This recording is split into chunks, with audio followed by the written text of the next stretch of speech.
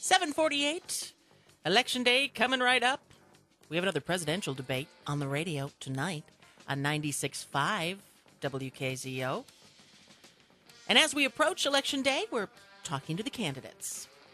Yesterday, we talked with Bill Farmer. He's running against state representative in the 63rd District, Jase Bolger. Mr. Bolger joining us this morning. Good morning to you. Good morning, Lori. How are you? Good. So you you have the gig now. You I have do. the job. And tell us about some of your accomplishments. Well, as you, you talked about the weather, the sun is coming out in the state of Michigan as far as our outlook. The, the future is much brighter in the state of Michigan now than it was two years ago. If we were talking two years ago, we would have been uh, talking about how the state had to solve a $1.5 billion deficit. We would have been talking about debt that had been piled up year after year after year, and we would have been talking about an unemployment rate that exceeded 14% because the state had lost about a million jobs in the prior decade. Now, those things are turning around. The budget is balanced. We've gone from deficit to surplus. We now have money in our savings account. We've been able to invest additional dollars into education, into state police, and into our roads. And thankfully, our citizens, our small businesses are creating jobs. We've seen over the last 18 months 100,000 jobs created in Michigan. So people have more opportunities, but we still have a long way to go. We've reduced debt in the state, but we still have much debt that we inherited. We have those jobs being created, but again, we had lost more jobs than that in the prior decade. So we've got a lot of work to do, but we're turning the corner, and Michigan is getting on the right path. You're a Calhoun County guy, but you have connections to Kalamazoo County as well. That's correct. I live in Marshall, and the district spans Calhoun and Kalamazoo counties. But I have a business that we started uh, 16 years ago over in Kalamazoo County. What is that business? We update phone records for big companies.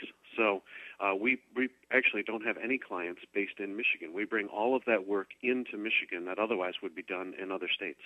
What is your background? A small business owner, a husband. I'm married to my high school sweetheart. Father. Uh, together we have two teenagers. Our son Nick is a freshman in college, and our daughter Megan is a junior at Marshall High School. So it's that experience as a small business owner and a husband and father that I brought to the job, and it's that uh, concern for their future, uh, our future grandkids. My wife Molly and I remind our kids we hope they're uh, quite a ways off in the future, but uh, those future grandkids, we want to have the opportunity to live here in Michigan. It breaks my heart as we talk to so many grandparents who had to watch their families leave in the prior decade, and those families, of course, with them took their kids, and so grandparents now have to leave the state to celebrate holidays. Now that's reversing. That's uh, that's coming back. Those people are coming back. Those families are being reunited, and that's why we need to continue to move forward. There is an investigation going on in what's being called an election rigging scandal that you are involved with. How can our li- go ahead?